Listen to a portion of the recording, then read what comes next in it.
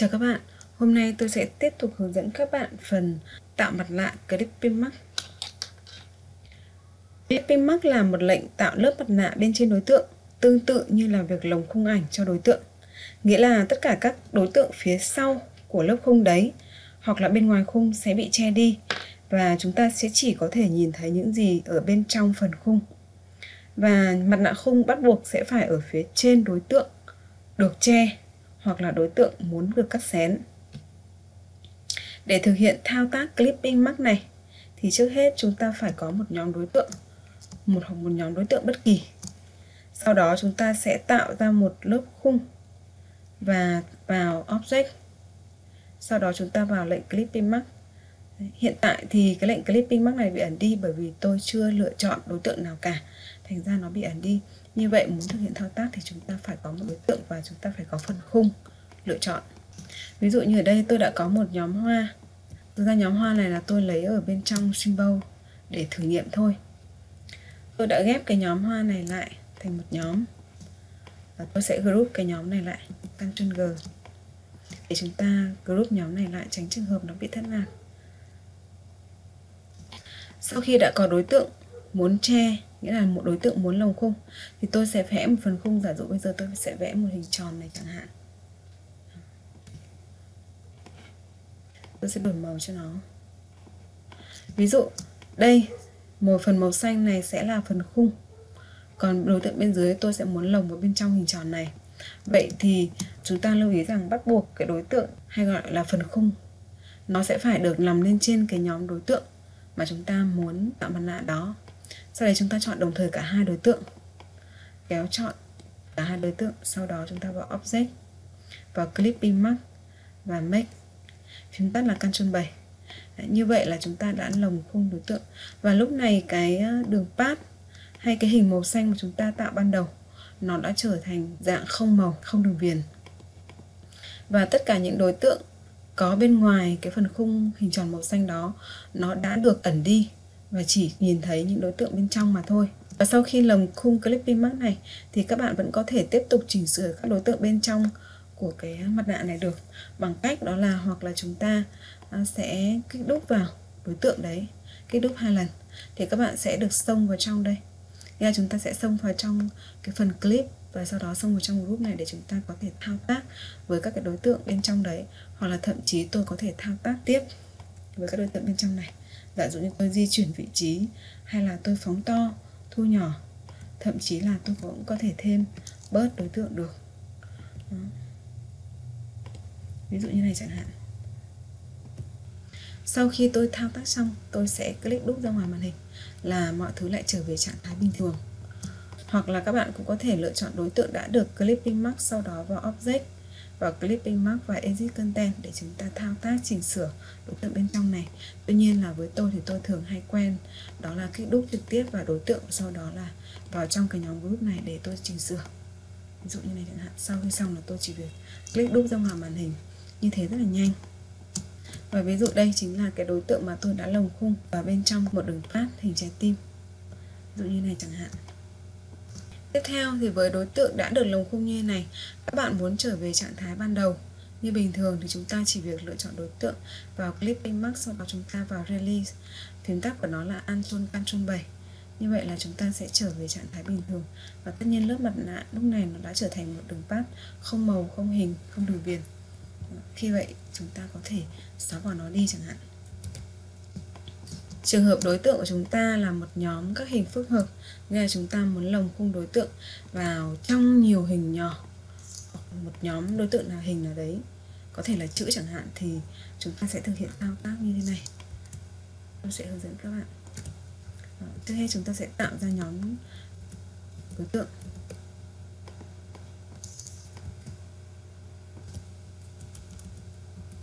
Như này chẳng hạn sau đó tôi group nhóm này lại, tôi sẽ lấy một cái ảnh bất kỳ ở bên trong.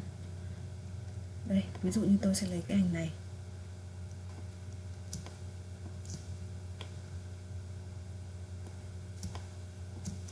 Như này chẳng hạn.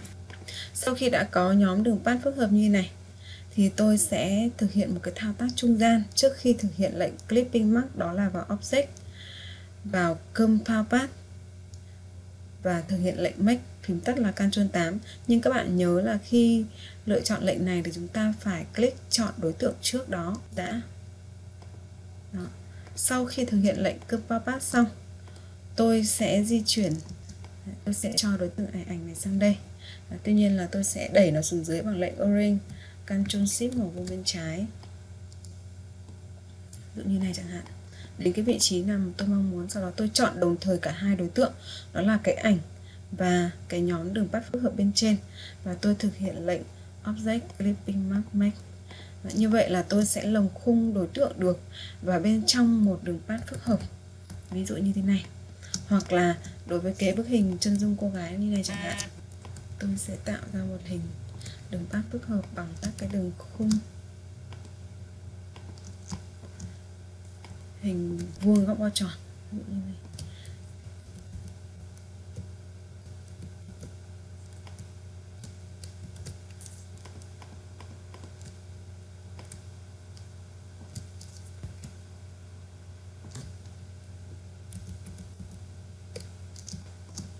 Sau đó tôi sẽ chọn cả cái nhóm hình vuông màu đỏ này. Tôi group lại. Sau đó tôi vào lệnh object compound path, make sau khi thực hiện lệnh compound path hàn gắn đường path hợp xong thì tôi sẽ chọn đồng thời cả hai nhóm đối tượng vào object vào clip mark và make. Ví dụ như này đây như vậy là chúng ta sẽ được một cái thành phẩm. Hoặc là trường hợp mà chúng ta à, muốn tạo hình đây, nó có độ hút như thế này chẳng hạn. Vậy thì chúng ta sẽ làm như thế nào?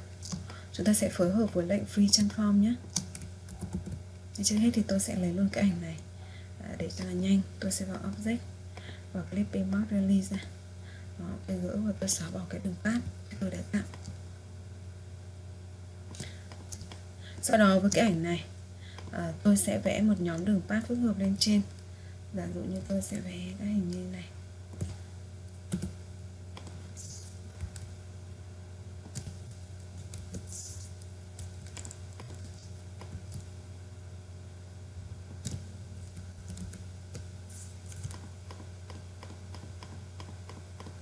Rồi sau khi chọn cả nhóm này tôi Ctrl G. Tôi sẽ kết hợp với công cụ Free Transform Perfective Distort để tôi có thể tạo hình theo dạng phối cảnh. Như này chẳng hạn. Đó. Sau khi đấy rồi, sau khi tạo hình theo dạng phối cảnh rồi biến đổi đối tượng rồi thì tôi sẽ thực hiện lệnh Object Compound Path Make. Và tôi chọn đồng thời cả hai nhóm đối tượng. Object Clipping Mark Make như vậy là tôi đã lồng khung được đối tượng vào trong một cái đường tắt phức hợp, đồng thời là kết hợp với công cụ trong free transform để tôi thực hiện thao tác này. Bên cạnh đó thì chúng ta cũng có thể lồng khung đối tượng với đường path phức hợp là dạng chữ. Ví dụ như bây giờ tôi sẽ gõ một chữ là hoa. Tôi sẽ trả về khoảng cách bình thường. Tôi sẽ phóng to cái chữ này lên hơi cao quá rồi. Ví dụ như này chẳng hạn, tôi sẽ kéo chọn cả hai nhóm đối tượng này ra đây để chúng ta thấy và có thể so sánh.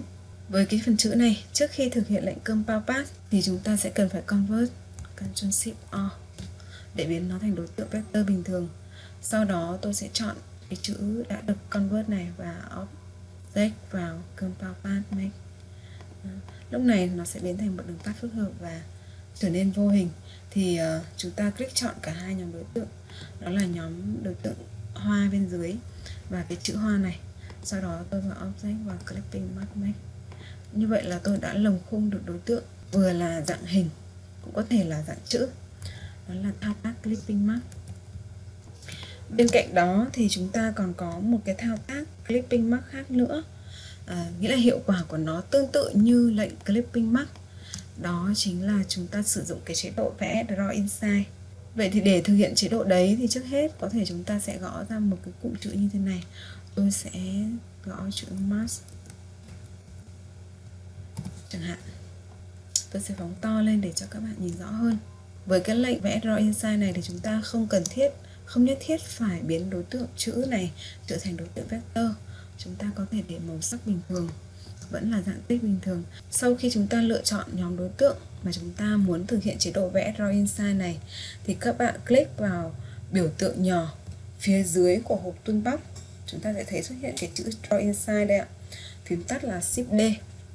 Click vào đây, chúng ta sẽ thấy rằng phần chữ hay là đối tượng được lựa chọn của chúng ta xuất hiện một cái khung nét đứt bao quanh. Như vậy, nghĩa là lúc này đối tượng đang chuẩn bị được thực hiện chế độ vẽ Draw Inside. Vậy thì chúng ta có thể tạo mảng màu cũng như là đổ màu cho cái nhóm đối tượng này. Giả dụ tôi sẽ sử dụng một cái hình uh, tròn hình elip chẳng hạn ví dụ như này. Tôi sẽ vẽ đè ngay lên trên cái hình đối tượng được lựa chọn ở đây và sau đó tôi click vào màu đổ bất kỳ. Giả dụ màu đỏ này tôi sẽ click sang màu cam chẳng hạn. Các bạn sẽ thấy đối tượng chúng ta được tô màu được đổ màu trực tiếp ở bên trong mà không hề ảnh hưởng đến những cái phần ở bên ngoài, giả dụ bây giờ tôi có phóng to ra thì cái phần chữ của tôi cũng chỉ đổ màu ở phía bên trong cái chữ đấy thôi. Ví dụ như này chẳng hạn. Hoặc thậm chí là bên trong cái lớp đã vẽ drawing style này, tôi cũng có thể vẽ thêm một lớp khác nữa. Giả dụ như này chẳng hạn. Sau đấy tôi sẽ đổ màu tím chẳng hạn. Ví dụ như này. Đó. hoặc là các bạn cũng có thể trong quá trình chúng ta chúng ta cũng có thể thay đổi màu sắc như này chẳng hạn. Thay đổi kích thước to nhỏ của cái vùng chúng ta vẽ, chúng ta đổi màu. Hoặc là các bạn cũng có thể làm như thế này. Và chúng ta rất là thoải mái để có thể tạo ra được các cái mảng màu sắc hoặc là cái cách đổ màu của riêng mình. Có thể phối màu của riêng mình. Chẳng hạn bây giờ tôi có thể tạo thêm đố màu nữa bên dưới này. Và tôi sẽ đổ màu xanh sau khi chúng ta thực hiện chế độ đổ màu bằng Draw Insight xong thì các bạn click vào nút Draw Normal. Sau đó các bạn vào Type Create Outline như vậy là chúng ta sẽ được một cái hiệu ứng tương tự như là lớp clipping mark. Và lúc này cái phần khung chúng ta có thể di chuyển. Hoặc là chúng ta di chuyển cái đối tượng chữ, đối tượng text, ví dụ như này. Nó sẽ được một cái hiệu ứng tương tự như lồng khung đối tượng.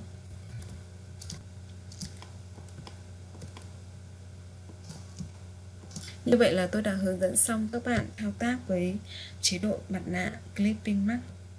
Xin cảm ơn các bạn đã chú ý theo dõi. Hẹn gặp lại các bạn ở những bài sau.